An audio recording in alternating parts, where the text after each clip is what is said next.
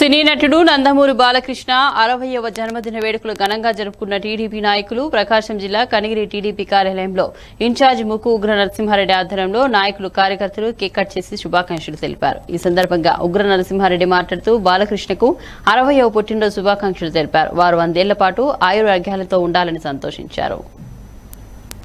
జై బాలయ్య జై బాలయ్య జై బాలయ్య జై జై Balayya happy birthday to Balayya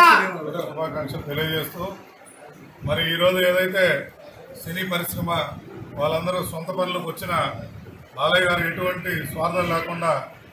పేద ప్రజలు మరి అమరావతి రాజధాని మద్దతు తెలుపుతూ మరి ముఖ్యమంత్రి గారిని కలవకుండా